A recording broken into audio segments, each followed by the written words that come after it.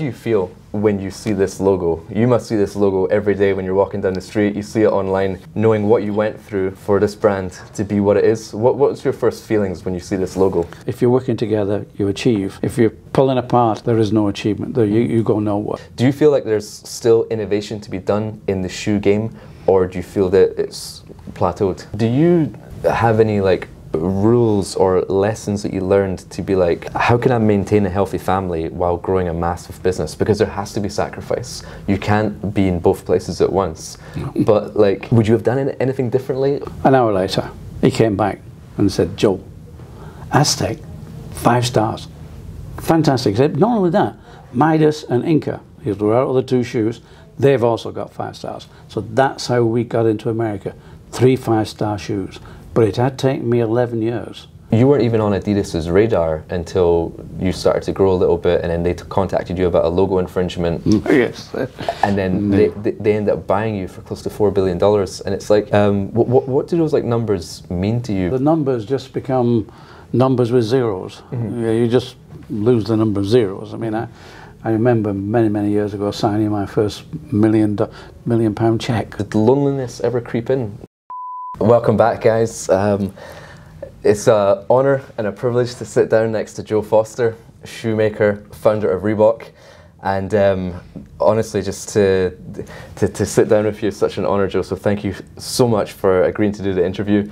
And uh, I, I, read the book and uh, I was just fascinated by the story. And it's almost like, a, like an untold story that a lot of people don't really know the true origins of Reebok and the the grit and the perseverance of what you had to go through to build a brand to what many people see today. So a- after listening to the audiobook and reading the book, um, I was like, I have to connect with you and I wrote you a message on Instagram. You replied we set up the interview. So thank you so much uh, for, for just sitting down and sharing your wisdom and sharing your knowledge uh, with the audience today. I'm super grateful.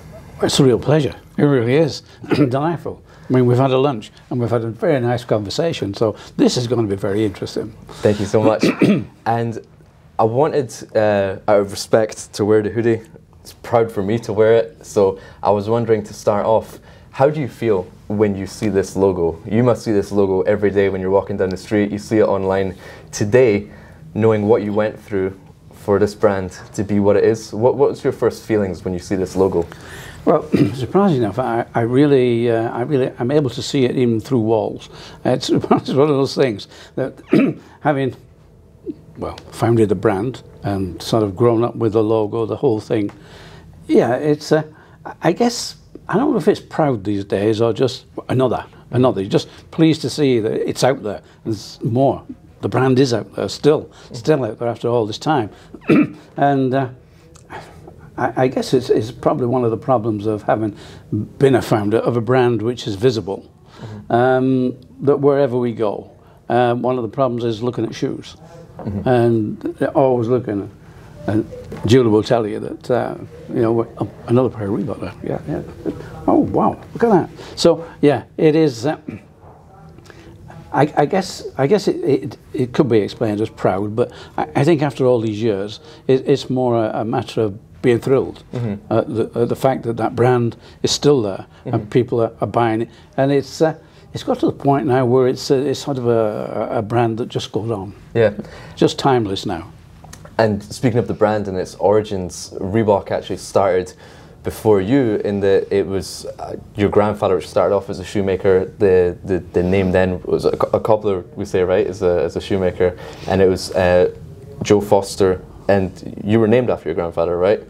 Oh, absolutely, yes. Uh, my grandfather, he was born in uh, 1880. Yeah. Um, there's a bit of a dis, uh, dispute, but you know, back those days, it was 18, 1880 or 1881.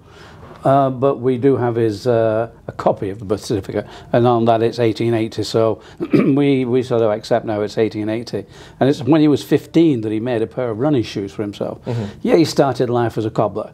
His, uh, his parents, they had a confectioner's shop. Mm-hmm. His grandfather was a cobbler. Mm-hmm. But his grandfather was down, I think it's in Nottingham. so he didn't see much of him. But he didn't want to be a confectioner, he wanted to be a cobbler.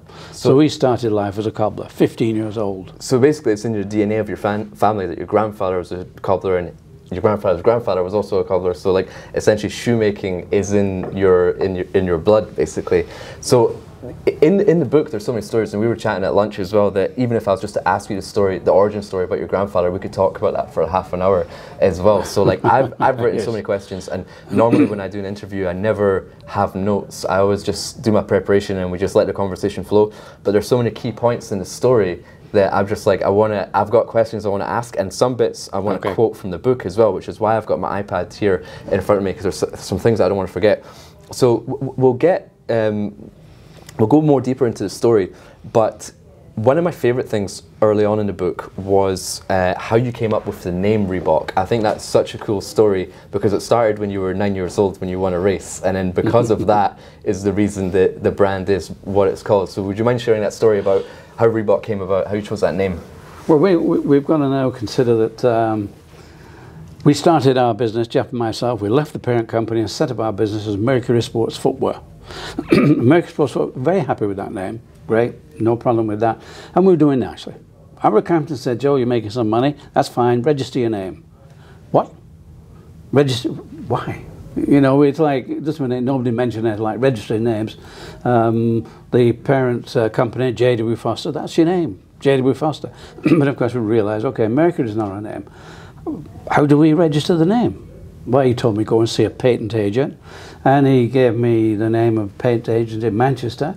I went to see him, and uh, we found out that Mercury was already pre-registered by Lotus and Delta, a British shoe corporation company. Oh, um, he said, but uh, they have offered it to you for a thousand pound if you want it. Ah, a thousand pound. We'd just set up a factory for two hundred and fifty pounds. A whole factory. you could buy a machine for ten pounds. A thousand pounds. We didn't have a thousand pounds. And the bank. We're only eighteen months into a business. We're making a bit of money, but a thousand pound was oh, way out, way out of sight. Uh, he said, "Well, okay. If you uh, don't want to buy it, you can take them to court." and uh, you can claim because they're not using it, they've just got it registered. I said, well, how much will that cost? And he said, about a thousand pounds. Well, okay, so you can't afford a thousand pounds. Either way, you've got to find a new name. Which was like a new name. We were 18 months, we're excited, we're into our business, we're, we're going nicely. You've got to find a new name. So I go back, we sit around the table, and you know, we're thinking of names like Cougar. It's a good name, Cougar Sports. Why not? Cougar Sports. Uh, Falcon. so we were on that sort of animal, bird, sort of sport, something aggressive. Yeah, that's okay. Now, let me take you back to 1943, and I was actually eight years old at that time. 1943, and uh, middle of World War II. Just like COVID, nobody can go anywhere. You know, it's stay at home. In fact, we had stay at home holidays in, in those days. Uh, and okay, so we had an event, a running event, and I was entered into it. I'm eight years old, a 60 yard race, I think it was, and uh, I won. I won the race. I'm in Foster Spikes, of course. I was about to say that. You uh, won the race because your grandfather invented the spike running shoe. Yes. You were wearing spikes, and as a result, you won the race. You won the race, and your prize for winning the race was a US dictionary. Well, I mean, that was it. I went up to collect my prize. And what did they give me? They gave me a dictionary. Yeah, and I'm saying, come on, guys, where's the football? You know what I mean? I'm a kid. Where's the football? Oh, a dictionary.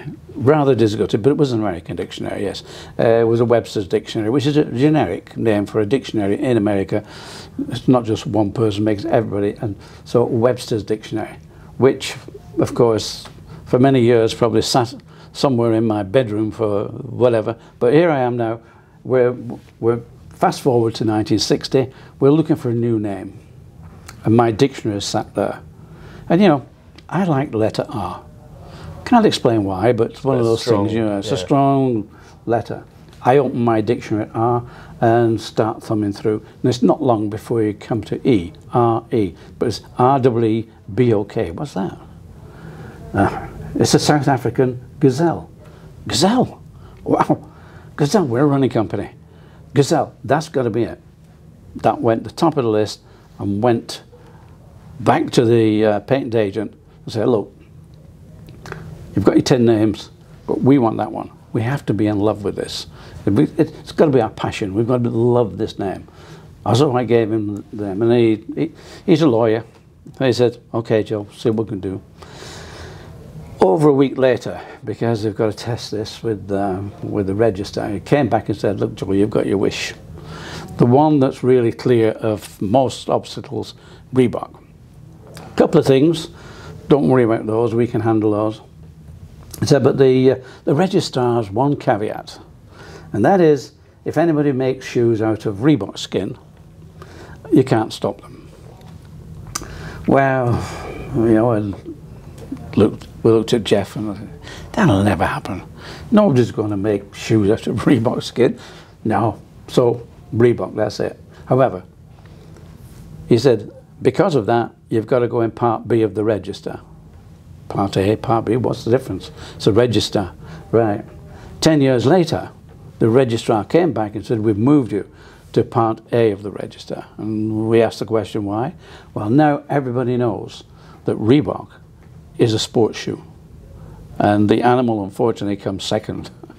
And what, I found fascinating about that is that had you been awarded uh, an English dictionary rather than an American dictionary, Reebok is actually spelt with an H. It's RH, So, so yes. it- had you won a UK dictionary that day, perhaps we all would have seen Reebok with a, with an H. So that was one of my favourite uh, stories in the book. And another thing as well, which you, you kind of mentioned, is that in World War II, it's something you had to go through, and uh, it's when your grand, um, when your father had the had the business, and I think today, like nowadays, like life, our generation's not had to go through like a world war. Life is so comfortable, everything's so easy, everything's so convenient. A lot of people thought going through COVID was difficult, which it was for some people, but um, going through a world war and running a business i- i- is pretty difficult as well. So. Do you think that that shaped your drive and your work ethic and your persistence uh, because you had so many obstacles to jump through, or was it a part of life because growing up and you, you were quite young at the time and you didn't necessarily know any better? Well, I think maybe my father and mother worried an awful lot about the war.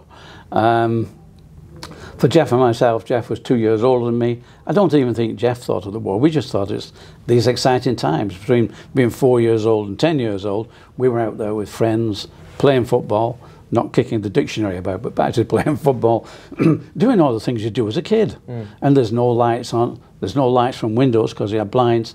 And this is what life was like. So I don't think that was uh, a great problem for me. As I say, maybe my parents.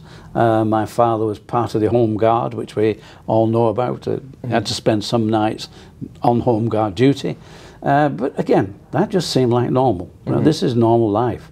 Um, but Jeff and myself, we were part of the scouting organisation. At that time, young enough to be in the Cubs. Mm-hmm. And, I, and I guess you get a lot of discipline. It's funny how we got discipline from being in the scouting organisation, mm. even after the war. You know, it's that sort of discipline, and I think that had a big effect on how you how you think of what you want to do and how you're going to do it. Mm-hmm. But the war itself, no, I, I just think it was one of those experiences you go through as a youngster. Mm-hmm.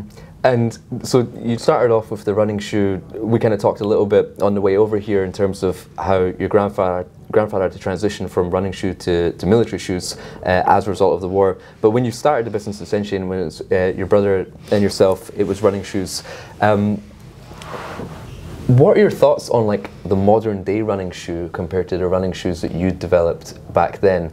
And do you feel like there's many technological advancements? I mean, you were just telling me about a shoe uh, on the way over here, which sounded very technical to me. But do you feel like there's still innovation to be done in the shoe game, or do you feel that it's plateaued? Well, I think there's always innovation in whatever you go into, and I think uh, in, in apparel, you know, I mean, they, they keep on saying we're all going to be wired up, and you know, and you're just going to press a button and you speak to whoever. Well, we're almost there now. You know, you can do it with watches. Uh, we've all got smartphones now. With uh, with footwear, I think it's low tech, but it's still tech because. Uh, e- even when uh, we can go back to the Aztec, which was our shoe that got five stars, we just started using EVA as a sponge, as a rubber, because rubber itself is quite heavy. Mm-hmm. But EVA is a plastic material, so that was technology had moved us forward. That now they're moving forward. They've got different different rubbers now, and they're they're looking at and inventing different rubbers, lighter weight, more more cushioning. The design of the sole can be one that promotes movement forward. Mm-hmm. And uh, they have things inside the shoe, carbon fiber uh, springs almost that can help again with this. So yes, there'll always be somebody looking for technology, and it will be there in whatever way. There'll be new materials. So it, yes, footwear, low tech, but yes, there's technology. And I, I'm curious, like as a product developer, someone who's involved in supply chain, out of all the countless products that you've developed and you've brought to market, some were very successful, some failed. Do you ever do you have a favorite product that you developed that you look back on that product and be like that was always my favorite? And I know your brother Jeff was in charge of the production side of things. He was running the factory in Bury, and if I'm not mistaken, you were more in a sales role and you were getting distributors on board. You were looking at new markets. You targeted USA, and uh, Paul uh, which is, is quite um, it's got an interesting part in, in the book as well, which helped with that US, USA expansion. He told you, "Get me a five-star running shoe, and I'll break you into the USA market." And if I'm not mistaken, you got him three five-star running shoes, and and five-star for anyone in the audience who's not sure, that's the the ranking or the review that Runner's World magazine were giving the running shoes, and you gave him three five-star shoes, and then he got on with the USA market. But was there was there a product that you developed and when it came out you're like that is that's the one that's my favorite. And looking back now is there a product that sticks out in your mind that's been been your favorite well I mean, apart from Aztec which was our five star training shoe because that's the volume mm-hmm. and, and, really I love that because it is the volume because that's the, that's the product that takes you from where you are and gets you more visible mm-hmm. brings you onto the market um, but probably the, the, the, shoe that I think we, we developed best was World 10. World 10 was um, a road shoe built on a track last. Now, a track last is very narrow, and the heel is only about that wide, whereas a normal running shoe it can be any width, because normally when you're training or running, you strike with the heel, mm -hmm. and then you roll down the outside of the foot and you toe off uh, on, your, on your big toe really. That's where you go straight in your toe. Whereas uh, this one, the World 10 was made for Ron Hill. And there are quite a few runners like this. They, I think you ex explain them as floaters. Mm -hmm. What they do is they don't land on the heel at all. They always only land on the ball of the foot. So when they run on the ball of the foot and, and toe off, never hit the heel. And uh, they're, they're the best runners because they, they use so little energy hitting with the heel. Uh, so we, we made that shoe for Ron Hill, and he, of course, he, he won the Boston Marathon in record time. He won a lot of marathons. He was our number one marathon runner in his time. And some of his records still stand today as well, if I'm not mistaken. And um, there's some great stories around the innovation of that. And there's so many great stories in the book, which I have to say, like for anyone listening, definitely make sure you pick up a copy of the book to hear all these like fantastic stories because as I said I've got so many questions here and I have to be very, very selective of which ones I ask because there's so many cool stories uh, in the book. And one of the other things I want to ask you is that um, when was the switch from making the shoes because your factory was in Bury right just north of Manchester you grew up in Bolton yes but the factory is in Bury and uh, it's also because uh, your brother and yourself moved away from your family business in that you moved away, separated from your dad's business. You want to start your own thing. You started Mercury, that, that turned into Reebok, but you didn't want to do the production in your hometown because that's also where your father was running. Uh, True. Yeah. Foster and Sons, right? So you went to Bury, but then you know the the US market, all these trade shows, these five star running shoes came up. When was the switch from right we're making shoes in Bury to right now we're mass producing for the world? And what what what, what happened in that time? Well, let me just take you back a little bit to the five-star shoes. Uh, we're talking about during the 1970s, and Bob Anderson brought out his magazine Runner's World. And at first, by 1975, from a single page, he'd got to a 50-page colour magazine. Everybody read it. 350 million Americans, 35 million are probably out there running. So that's that's his audience. That's and he thought he could tell them all which shoe to buy. Mm -hmm. And he put these shoes through some sort of experiments to test them. But of course, he came up with Nike. Nike, number one shoe, that's the one to buy.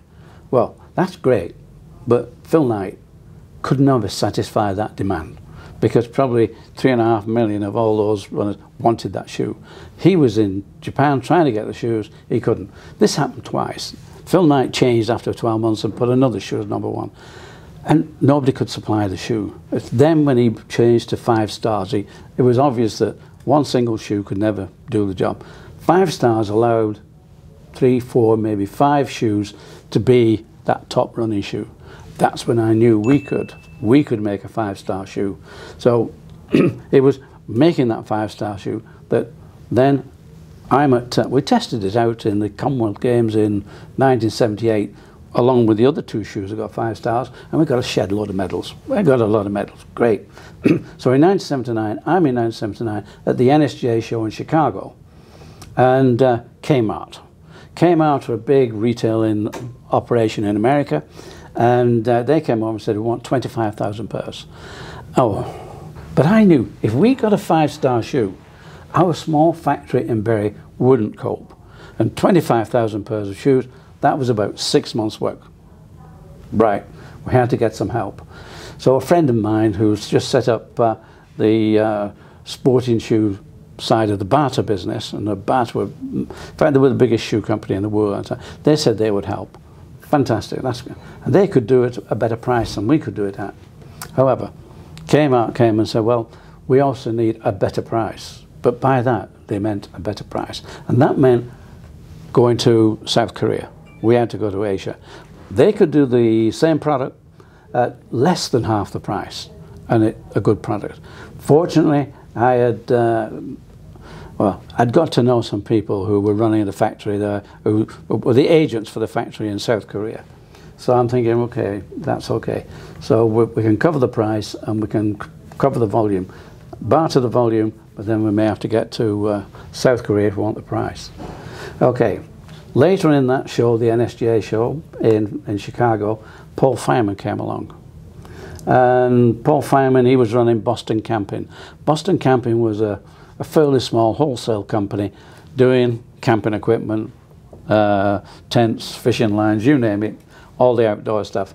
Um, and Paul said, I could tell he was fed up. He, he, he'd been running this business for 10 years with his brother and his brother-in-law, and it was doing the same. They weren't going around the same fishbowl, neither growing, just sort of existing, as it were. And uh, I got on well with Paul. You know, we could talk together. And he said, Joe, if you get a five-star shoe, I'm your man.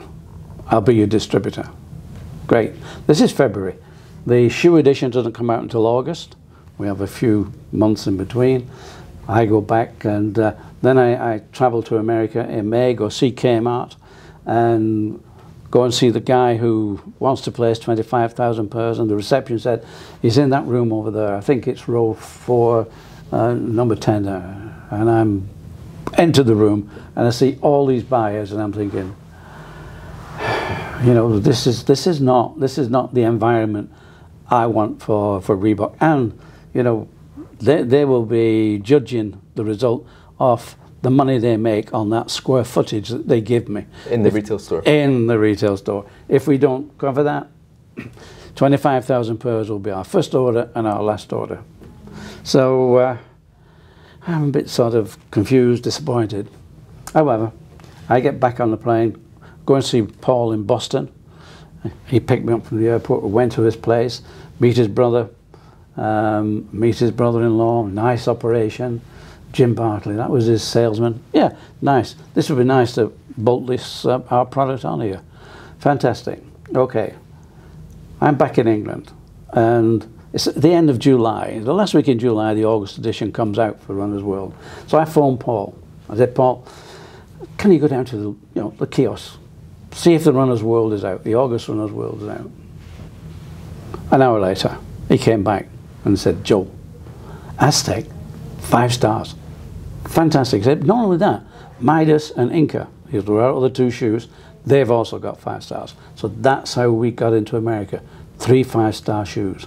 But it had taken me 11 years. And those 11 years had been trying to push into the market, and that had been hard. Now, with five stars, the market wanted us.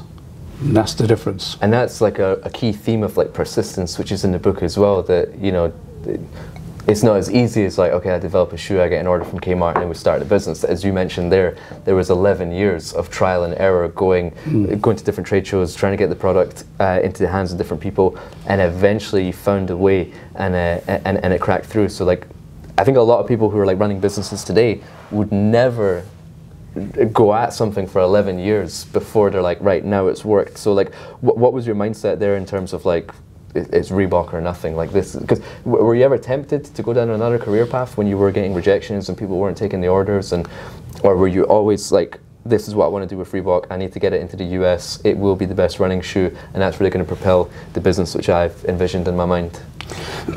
Well, I, I think Reebok was that, uh, sorry, America was that step that I was looking for. Because the UK, nice market, but we were not in soccer or football. as We, um, football had been taken by uh, Adidas before Jeff and I left the parent company. So to get into football would have cost a lot of money.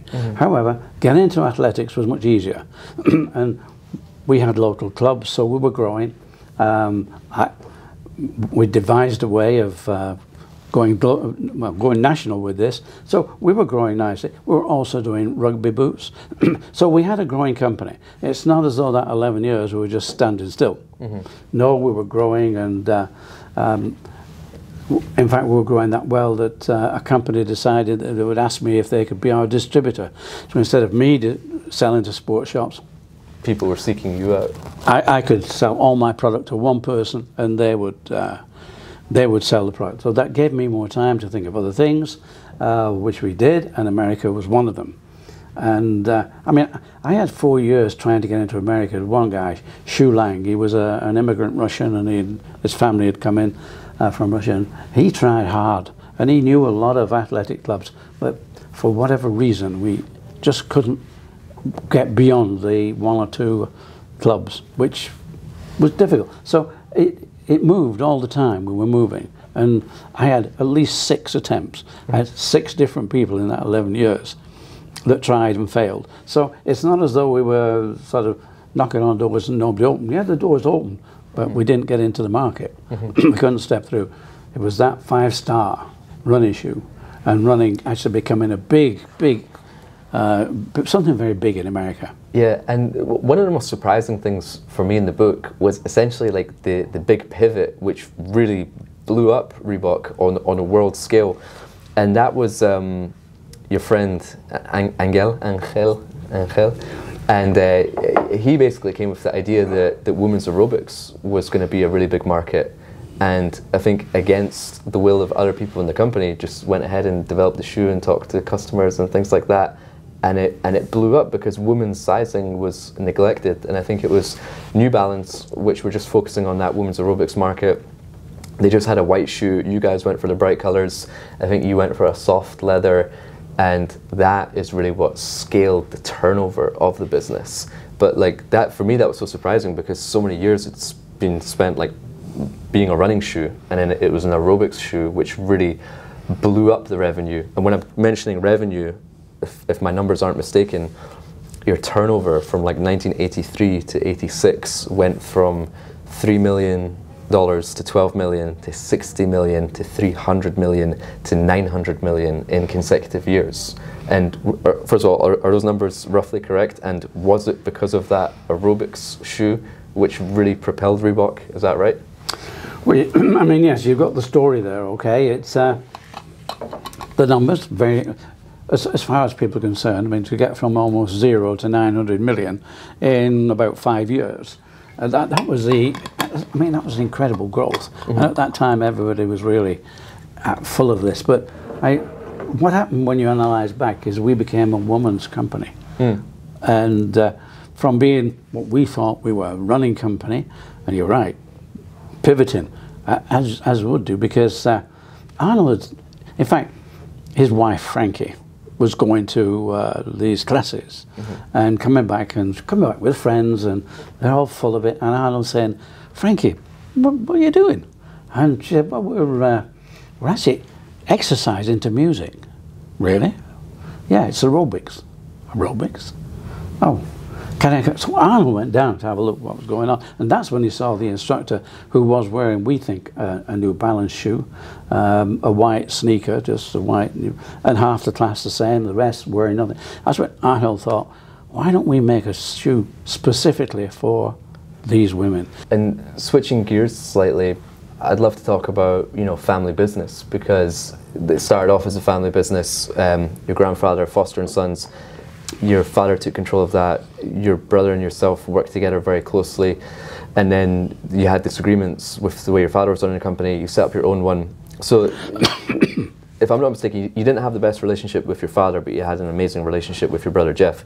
And what what would be your advice to people today which are considering getting into a family business, either working with a, uh, a parent or a brother or a child or something like that? Like I know everyone's family is different, but you've kind of had experience uh, through family business, and, and so. I came up through a family business as well. Um, what what would be your advice to anyone who wants to get involved in a family business?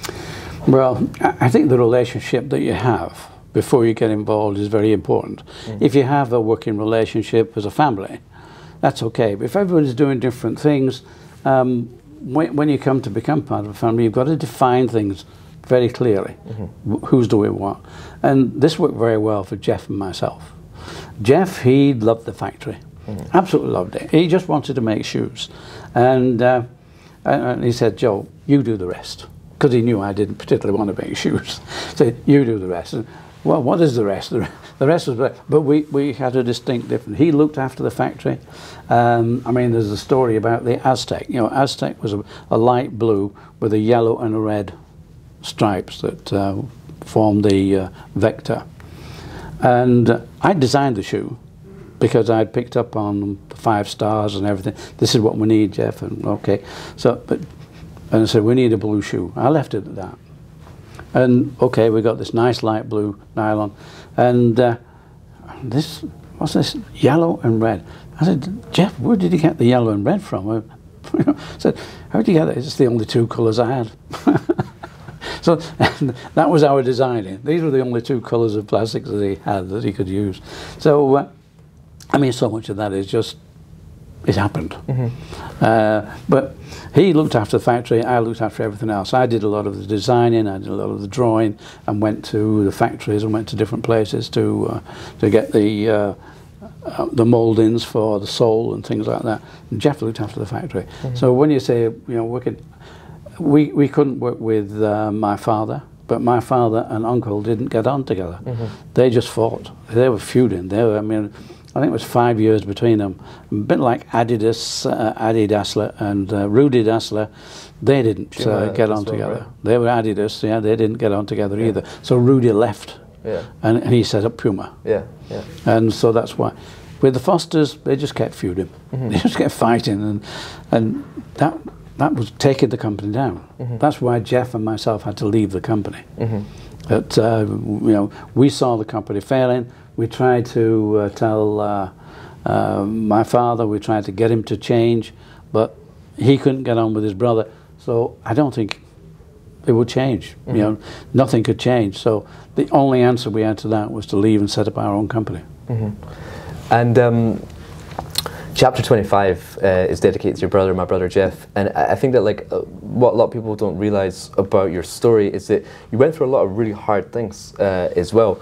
And um, losing your brother, I think he passed away when he was in his mid 40s. And that was mm. at a time that Reebok was just still growing a lot. And um, I, got emotional reading that chapter because I work very closely with my brother, and right. we're, we're a year and a half between us. We get on so well. We're best friends. We've been through everything together. We run every important decision by each other, and I would imagine it was the same with you and Jeff as well. So I couldn't imagine what you went through at that time, but then to continue to growing the business as well. Like how how did you cope with that? Well, when this happened, of course, it was a disaster.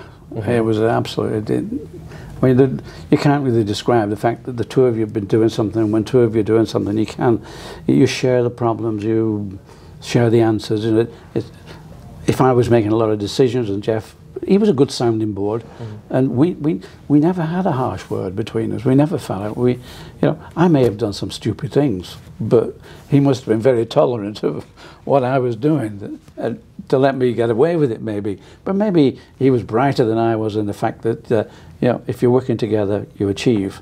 If you're pulling apart, as father and uncle have been doing, there is no achievement. There, you, you go nowhere. You just that's it. So when I mean his death was yes, I, it took three people to replace him. That, that was actually going to be my next question because um, in, in, in the book you said that after he, he passed, you had to hire three different people to do the role that he was doing. And do you think that that was a result of, of him getting ill? Was that he was doing too much? And I think as entrepreneurs, we sometimes lose track of our health for the main common goal of I want to build this business, and we sacrifice things in, in family and health and all sorts of things.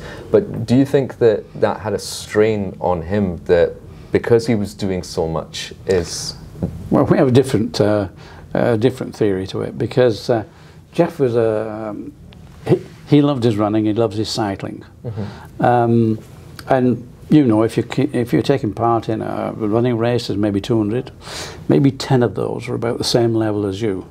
So you're always running in that same place. But he tried harder all the time. He tried harder always pushing? always pushing to the point where at the end of every race or every cycle race, he was physically sick. Uh, you, you don't do that week in, week out uh, without something happening. And uh, he got stomach cancer. That's what he died of. Well, he died of an embolism, but stomach cancer is the operation they had to operate on. And uh, I think that that came about because he was physically sick week in, week out, just trying too hard. So yes, he was trying too hard, but I don't think it was uh, the actual part of the business, even though running is was the business. I, I think that doing what he was doing was uh, not doing him any good. I mean, he was fit, very, very fit. So it, you know, it, it, it must have been something like that. Yeah, with uh, with Jeff running the, the factory side of things as well, I wish I would have had the, had the opportunity to speak with him as well to you know hear some stories from uh, from inside the factory as well. And the the, the, book kind of takes you on a journey, and that you know you go through the, the history of the company, the growth of the company, the hard things that you went through. But there's also some really funny stories in it as well. And what what I found quite comical, I was having a little chuckle to myself when I was listening to it. So I listened to the audiobook and then I read the actual book uh, as well is that when you get like entertained by suppliers uh, as well. And I think you, went to Japan, but this time you weren't traveling alone. You were traveling with your wife uh, at the time, and uh, to entertain you, they, they they gave you some like British like strippers or, or, or something like they that. They did indeed. Well, they uh, they took us to the for, for a meal and entertainment, and the entertainment was three British girls stripping, and uh, okay, right, we sit there and uh, I, my wife was looking at me, I'm glaring at me probably, but probably the worst thing was at the end of the show they actually brought the girls to the table, They- in, thinking that this was lovely. You know, Yeah, they, yeah. they were doing us a great lot of that you would favour. appreciate it, yeah. Yeah, and um, of course you you got to talk to the girls, and these girls apparently uh, during winter in Japan they moved down to Australia, so they were doing what they were doing in Australia, doing the Australian summer. Then they'd move up to Japan and do it during the summer there. So, uh, but my wife, she sort of said, She wasn't too "We- happy." "We've got to go." I'm, you know. She was saying she was sick and whatever. I had to say, "Look, my wife's not feeling too good, so we've got to go. And uh, so we had to leave. And, you know, I mean, and I got, this is what you always do, isn't it? And I said, no, this has never happened in my life ever before. That there are lots of things that you don't know about, but this has never happened before. And it's like, as you know when you're traveling. Yeah, yeah. You know, you, you go to the Far East, and in their way, they try to um, Entertain you. entertain you, and of course, it usually involves women or something like that. Either you're drinking, or they, but uh, I mean, you just have to take a view of it, and uh, you, you know, the I culture mean, is different. And, uh, um, oh yes. but I, like I, I've been in some funny situations myself as well, so it, it was nice to sort of uh, hear like your stories um, about that as well. And um, moving on a little bit, so I I heard the, the podcast you did with Ed Mylett, and in that you said that you've been to Ch- China before, but you know you never you've never been to the Great Wall. And it's like when, when you were going to these places, was it was the business so intense that like you didn't have time to go and do some fun stuff, or did you always ma- make a point to be like, right, when I go to a new destination, I want to actually enjoy this as well. I'll work for five days, I'll take a day off, I'll go see the local tourist attractions. Like, what did a typical overseas trip look look like for you, like in terms of the schedule? I, I think the schedules were such that I just did business. Um, you see some of the things that the people want to take you to, mm-hmm. but I never, I never said, look, I'm going, I'm spending two days away from here or what. Right. It, it, was always very simply just get the business done and carry on and move on, mm-hmm. whatever it was. Because uh, whilst you're out there, they want to entertain you. Mm-hmm. They don't want you to say, leave me alone. I'm going to do my own thing. It never happened that way. Uh, mm-hmm. either, I mean, maybe I could have said, look, I've got to do this, I've got to do that. Um, when my wife went, when my wife went to Japan, they did take her around to see her some temples and mm. One of the trips we went to Japan, we went on the uh, bullet train yeah, to Kyoto and back sort of thing. We did that. Mm-hmm. Um, but I think there probably should have been many things. I never saw the Great Wall. Mm-hmm. Um, then again, you know, I did such a lot and I saw such a lot, mm-hmm. but I'm traveling alone for most of the time. Yeah, yeah. And this is this is one of the things that really people didn't understand that uh, I have no communication. You know, if I wanted a telephone, yeah. I, would have to ask the reception could I make a telephone call to the UK, and it wasn't a simple matter of just dialing it through. Yeah. They had to book lines. You know, there's only so many telephone lines in those days. We didn't have satellites. You know, we didn't didn't have that sort of communication. So if they couldn't get a line, mm-hmm. they couldn't get your telephone call through. So very rarely could I actually speak from when I'm away traveling, even in Europe. Mm-hmm. It was difficult. I couldn't speak to anybody back in the UK. It, so really, spending time and doing things out there wasn't really uh, on the cards. It was more or less mm-hmm. do your business and get back because you need to trans, you know, tell everybody this is what's going on. Yeah. You know, if I picked up a new distributor and I wanted a uh, distribution uh, agreement made up, I had to come back mm-hmm. to get that done, not spend two or three days uh, doing tourism, as it were. Yeah. And even even the things I did see. I, after my three, I think it was three or four weeks on my round the world trip, I arrived back. And in fact, we should have, uh, as I said, the, the airplane that went on this round the world one was going east. And, and Pan Am 2 went east all the time. It just never stopped. London, where we should have landed, was fogbound when I was coming back. So we had to continue on to Frankfurt. So I spent another day in Frankfurt whilst Pan Am 1 coming the other way arrived to take me back to London. By the time I got to London, then up to Manchester, uh, it was late in the evening, and I phoned my wife. I got on the telephone and said, "Look, I will arrive in Manchester." Oh, I can't pick you up. I'm going to. I've got an art class. so I, have been away three weeks plus, and my, I couldn't get picked up from from I think it was Bury at that time. I got the train to Bury. I had to get a taxi from Bury up home to where we were living. So and then you speak to people and say, you know, you go into the office and say, "Hi, Joe. How's things? All right." Yeah, but you know, you, you no way. I mean, I went into. Um, I don't know if you know Ginger Rogers. No. Uh, Ginger Rogers, Fred Astaire. Mm. Fred Astaire, they did these dancing together. That's right. And yeah. this was in uh, in California. Yeah. And Ginger Rogers was a big film star in those days. well, she'd actually died by the time I, but I went into her house mm-hmm. and saw the murals on the wall, saw the whole house, and I experienced that, but nobody with me. Yeah. now, when I travel, two tickets, Julie and I, we travel together. So that if you've something to see, you share that. Mm. so and, and you said key word there, like lonely, and it, like I. We were talking before at lunch, and I, I went to China for the first time in 2010, and even back then in 2010, there wasn't much social media. There was Facebook. There wasn't even smartphones were just sort of emerging, and like I would post a Facebook update to be like, "Oh, I'm in the city," but it'd just be text, like no photo. And honestly, like that time, like it was really lonely. and I was just in China, going to different factories, going to different rural towns, cities I'd never even heard of. I would wake up one morning and not even know which city I'm in. There would be a driver downstairs who'd take me to a factory, I'd develop a product, I would get on a plane, I would go to another city, I would develop another product range. And it was just, it was all by myself. It was in a country I didn't know, I wasn't familiar with. I was having local Chinese food, which is way different to the Chinese food we get here uh, in the UK. There was translators, and it was just like, I enjoyed it at the time of my life, but it was lonely. And it's like you come home, and I'm in I'm in the pub with my friends in Edinburgh, and they're asking, you know, what's China like? And I don't even know where to start explaining it Right. because like there, there's there's so much to share, and it's like you see at night you're in five star hotels, nice luxury skyscrapers, but then during the day you're in rural towns, um, having local food, like just dealing with local factories and stuff like that.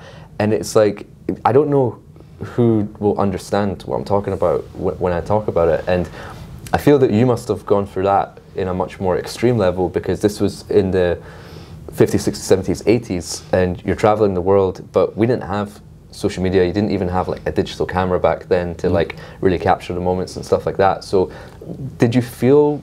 It, it, it's- it's weird to say like it's lonely because you're building a massive business and you're doing uh, tens of millions of dollars in turnover and stuff like that. But you're by yourself and you employ a lot of people. You run a massive company but you're still lonely and i just feel that's so weird like did, did, that did loneliness ever creep in like to your head and how, how did you deal with it I, I think that we're using the word lonely in the fact that we're we've nobody to just chat to all the time. yeah Um, as against if you know somebody is a real lonely person, they, they never speak to anybody. Yeah. We're speaking to a lot of people. Yeah, We're true. enjoying a lot of things in life. Yeah. We're doing things, but you know, there's that element of being able to relax and just sort of put your feet up and just have a chat with your your buddy. yeah You know, there's somebody you're with. I grew up with Glen Campbell. Mm-hmm. Who's Glen Campbell?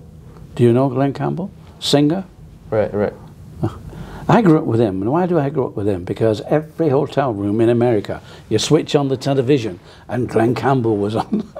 every, every, I'm like, does this guy never get off television? And so, through many years, you know, and I'm saying always, not always obviously, but you know, so many times I turn it down that Glen Campbell is the, you know, entertaining. So I grew up with him in in my American touring because I was like you. I'd be in a hotel room. Sometimes not the best of hotels, you know. Sometimes the best of hotels because you, they're not always available wherever you are in the country, wherever you're traveling. Sure. Um, but yes, so lonely is a it's a, it's a, it's not having that familiar face person with you. And uh, since I retired and started doing other things, now if people want me, it's two people. I'm sorry. Yeah, yeah, yeah. It's one plus. It's you know it's two two tickets, and then we can. Like Julie and I went to Toronto earlier on this uh, this year to uh, see people, but we took a day off and went to Niagara Falls. You know, we did that. You can do that. I, I think probably possibly why I didn't trip to see uh, the Great Wall was probably had nobody to go with. yeah yeah you know, in that sense, nobody to go with means lonely. true yeah. And um, another dynamic in the book, which I found really interesting, is is to do with family. And um, when you were building Reebok, you two young kids, but you're also doing a lot of traveling, so you don't have much time to spend at home as well. And obviously, that causes issues uh, in your family life. You're, you're missing certain things, but then it's to for the greater good of building a massive business, which will then provide a better quality of life for your family. And like I struggle with that because I'm like living in different parts of the world. We talked before, uh, living in China and LA, Dubai now, and it's like I've never really committed to having a relationship because I'm like I will not be the best version of myself while I'm focusing on my business. But then I see other people which do similar things to what I do, and they're married and they have kids. Some of them have great relationships. Some of them have like damaged relationships, and it's like, do you like have any like rules or lessons that you learned to be like? how can I maintain a healthy family while growing a massive business? Because there has to be sacrifice. You can't be in both places at once. but like, it's. Would you have done anything differently, or I don't think I would have done anything differently, and mainly because we we got to go back to the 50s, 60s, 70s when I was doing a lot of my traveling alone, and life was different then. We'd only just moved away from uh, we were just post-war, and uh, you know, fathers went out to earn money. Mothers stayed home and had children, looked after children, looked after the family. So I wasn't too far away from a lot of my friends, you'd say, because they would go out to work, they come home, then they go to the local pub. They go out you know, on their own to meet the mates and do things. So, in a sense, we were just growing out of that to where families um, meant an awful lot. But uh, I, I think that a lot depends upon your partner, whether they actually commit to what you you are doing and understand and commit to it and enjoy. You know, it's, it, if when you do arrive back, if the only interest is, oh, you're back. You know, if that's the only interest, Yeah. uh, then they're not committing to it. There's, you know, if if there's that sort of wow, how was it? You know, come on, you got to tell me. You know, oh, can we go? If there's that sort of Understanding. well, understanding and sort of yeah that feeling that can be between then fine i think that works because okay we had a, a very unfortunate uh, trip to japan with my wife uh, but she did see of some friends of hers who, were, who lived in australia um, and of course later on we, we had these uh, pro celebrity uh, tennis tournaments in uh, Monte Carlo. And of course, going to Monte Carlo, meeting all the people, you know, meeting the stars uh, from Hollywood, that I mean, of course, is it's magic. You know, it's, it's so, I mean, she had a photograph taken, sat between Roger Moore and uh, Sean Connery. Yeah. I mean, you know, the two bonds. yeah, yeah. In those days, you know, what could be better, sort of thing. So, th- th- some brilliant moments she was able to take. But I'm sure there's a lot of uh, a lot of business, maybe even yours, where the glamour isn't there. Yeah, yeah. You know, the glamour came into my life Yeah. uh, as we sort of grew big. We got a lot of glamour in there, so that that probably helped. For sure. But uh, uh, but at that time, my, unfortunately, my daughter was becoming ill, and uh, that. So, you know, we had other things to distract uh, away away from sort of being able to have real pleasure. And um, I've actually got so many other things that I want to ask you, but I want to be respectful of your time as well. Um, let me see the the exit of the business. Um, I think you change roles within the company, and um, obviously any business which is growing so aggressively needs finance. And um, I think when your brother passed away, you purchased the other fifty percent share that he had because his wife inherited it at the time. You got that, and then as you were growing the the US division. Um, Paul had that side, and then there was fi- finance available, uh, which then ev- eventually the business was sold to Adidas, I believe, for 3.8 billion, which is just a remarkable amount wh- when you think about it. It's still crazy. Um, Adidas ran it for a while. It changed hands recently. Last year, Adidas sold it to the ABG Group, and we were just talking at lunch. It was quite interesting because. Uh, in 1992, Reebok gave a shoe deal to Shaquille O'Neal, and then Shaquille O'Neal is part of the ABG group, which bought Reebok from Adidas, and he really wanted that deal to go through because of the relationship that he had with Reebok. Um, I don't know, just hearing those sort of stories, it's just it's, it's cool how everything comes around like full circle. But like, mm-hmm. do you ever just think about these numbers, like in terms of how you started, and then like the revenue that it was doing, and then the exit to Adidas? Because even um, you weren't even on Adidas's radar until you started to grow a little bit, and then they t- contacted you about a logo infringement, mm. oh, yes. and then mm-hmm. they, they, they end up buying you for close to four billion dollars, and it's like, um, what, what what do those like numbers mean to you? Because it's just like it's at the end of the day, it's just a number. You live a quality of life that you're very happy with. You're very proud of your accomplishments, but do you ever just think that's crazy from where I started to, to where it is now? Like what?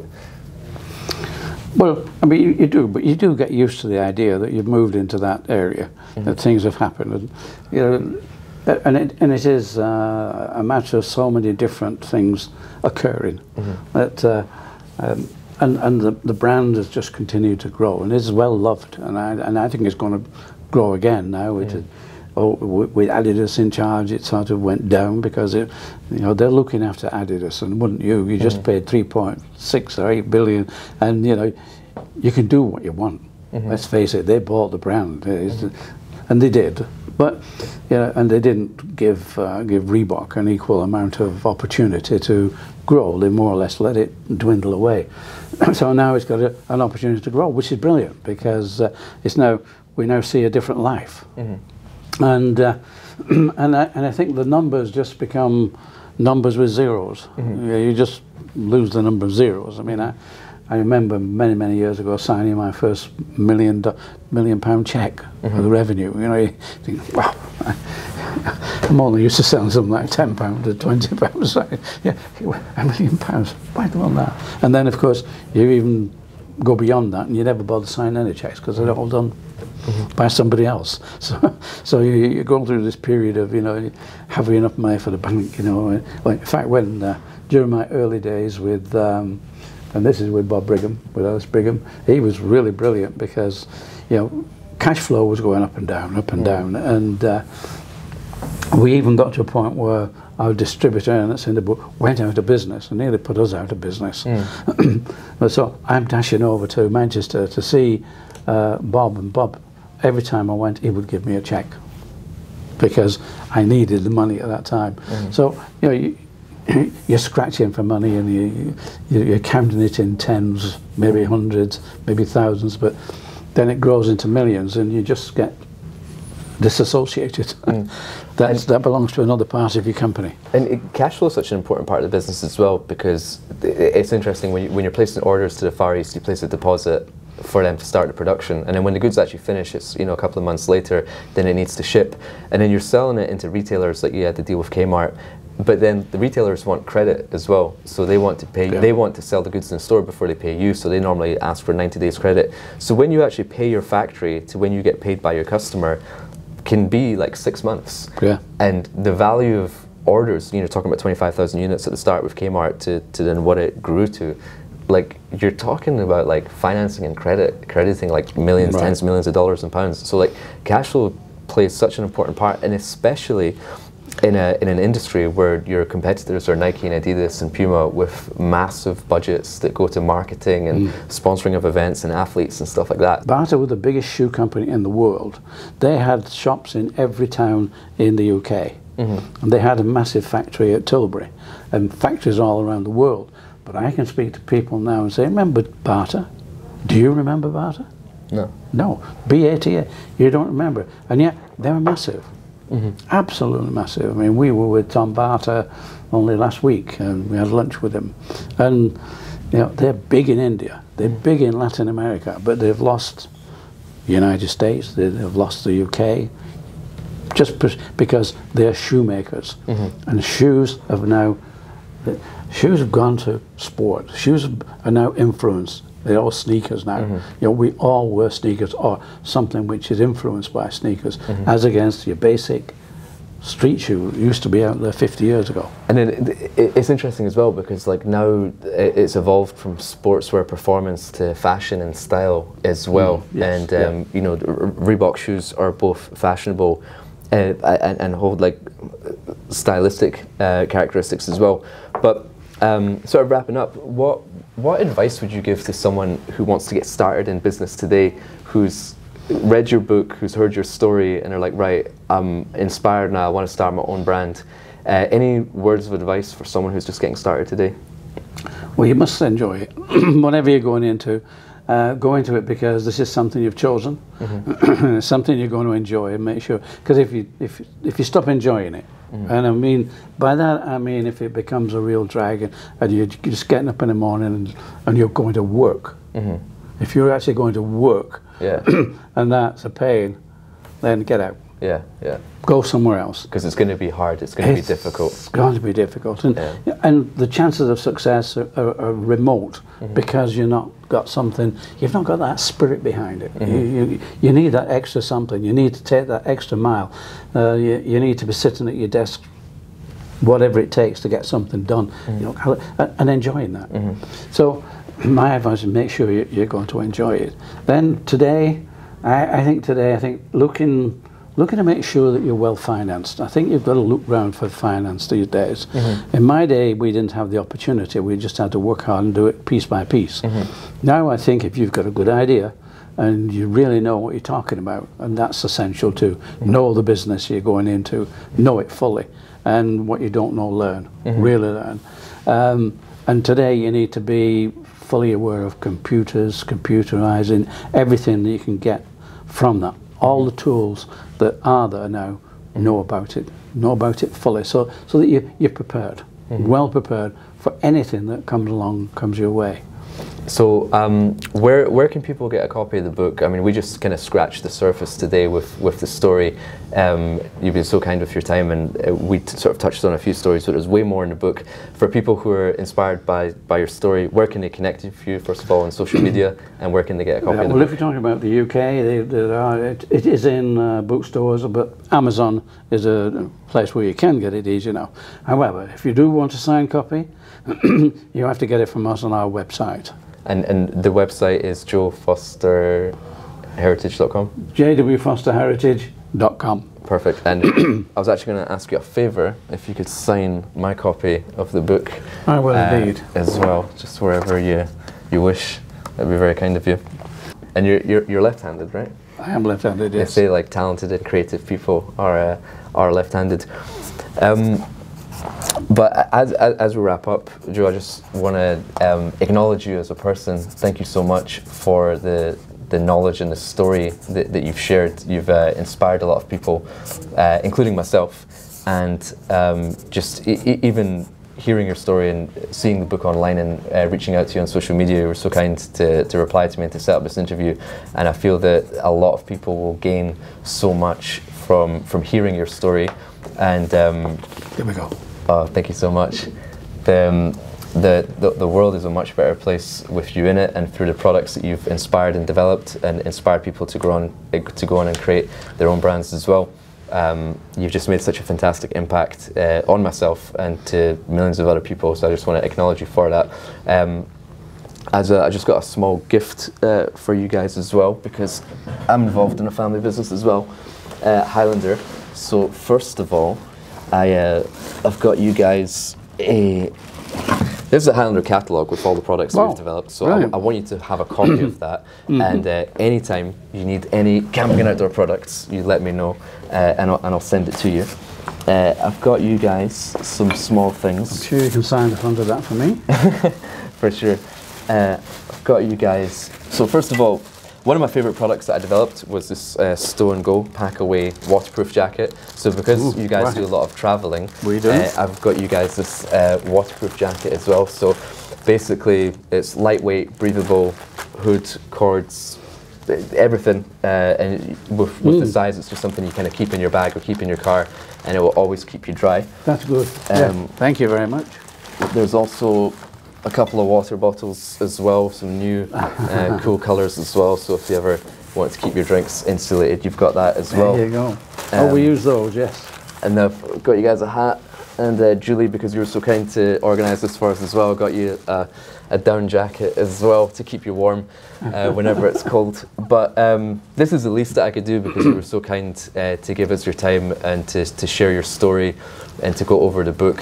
So I just want to say thank you again so much, uh, and it's been an absolute pleasure, and really appreciate you Yeah. taking the time, Joe. But Really it's been a pleasure to for us, Kian. And, you know, we're now friends. Yeah, and we'll be we'll be meeting Yeah. in many places, and we'll be talking many stories because we've got plenty.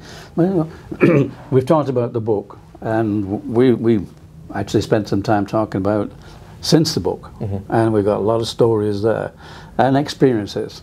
So uh, yeah, it's been great. Thank you very much. Maybe you overstate my importance, but uh, I did what I did, and uh, I think that's the best you can do in life. If you can do it and get on with it. Okay, you make mistakes, but you know, if you keep persevering, and I think persevering is very important. And and if you have belief, believe, persevere, have fun. believe, Very important. persevere, have fun. Joe Foster, thank you so much. It's been an absolute pleasure. Been a pleasure. And uh, hopefully see you in Dubai soon as well. Oh yes, indeed, we will do. Thank you very much. Cheers. Right. Thank you.